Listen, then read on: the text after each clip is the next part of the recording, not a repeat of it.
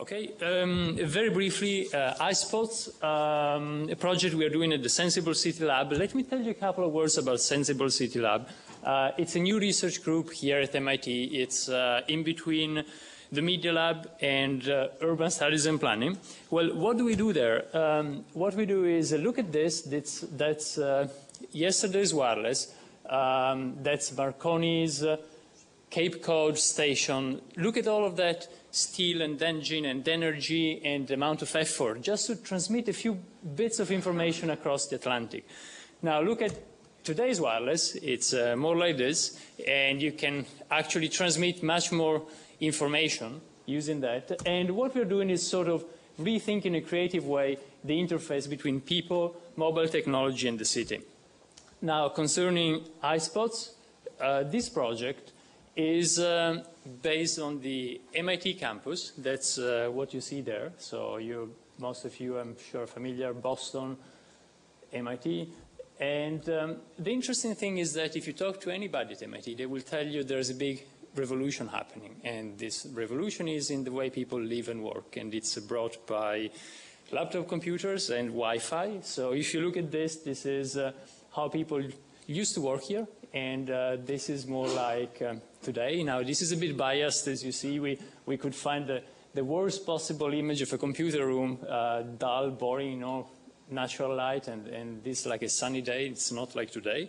But uh, the, um, the thing is that there's a big change. And uh, what we are trying to do with iSpots is try to define and see uh, how the change is happening and quantify this by allowing people to locate themselves actually with a few meter accuracy using the, the, the Wi-Fi network and so it's a unique case study that we're starting to monitor where we got 20,000 people on the MIT campus, a big chunk, um, urban chunk, with uh, 3,000 uh, access points. That's quite a bit. If you think that uh, cities like Philadelphia actually are planning to cover all of the city with Wi-Fi in the, in the next couple of years, and that's less than uh, 3,000 uh, less than the number we have of uh, access points. Uh, this high density means that we can locate everybody with uh, just a few meters accuracy. This is just a map with uh, some of the access points.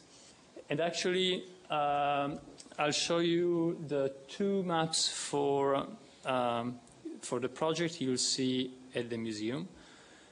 Um, oops. The, first type of map is a map that shows you in real time the activity going on on the network and uh, how many people are working in different parts of the campus. So you get this type of map changing. You don't see it very well here, but uh, you see it better at the museum. And the second map is um, this one. Uh, that's um, like, uh, oops. That's like uh, uh, the heartbeat of MIT. Now, what you see here is total activity uh, going on the, on the campus in real time, and you see the past week. So what you see here is uh, all of MIT, and that's actually a standard day. You see people coming and working 9 to 5, and then actually students keeping on working quite late, even, even during IAP. And then you got a peak, a, a peak and a, a minimum at 6 a.m., and then you got the next day. It's interesting, Friday, Saturday, and Sunday when most of the activity, 9 to 5 activity disappears and actually uh, you got uh, just the remaining part of the curve happening. Um, activity is slipping down in, uh, on Friday evening, people going out, and uh, on Sunday, uh, when you're starting to panic again about Monday and the next week, then there's another peak. And then what you see here, you can do this and query every room in, on the campus, and what you see here, for instance, is uh, this actual room. And you see most of the week it was pretty no activity. And look at today. And today you can get you get actually up to 25 users, which is the number of laptop I counted I counted earlier today of people connected to to, to the wireless internet here. Um, and you see it here. That's uh, today, Monday. It will appear in a minute. Um, anyway, you'll see the demo at the, um, yeah, here you see the spike. Today's, today's activity. And uh, you'll see the demo uh, at the museum. Uh, just a couple of uh, just a couple of things about uh, just to conclude. Um, uh, another project we have is actually with a, with a soccer team.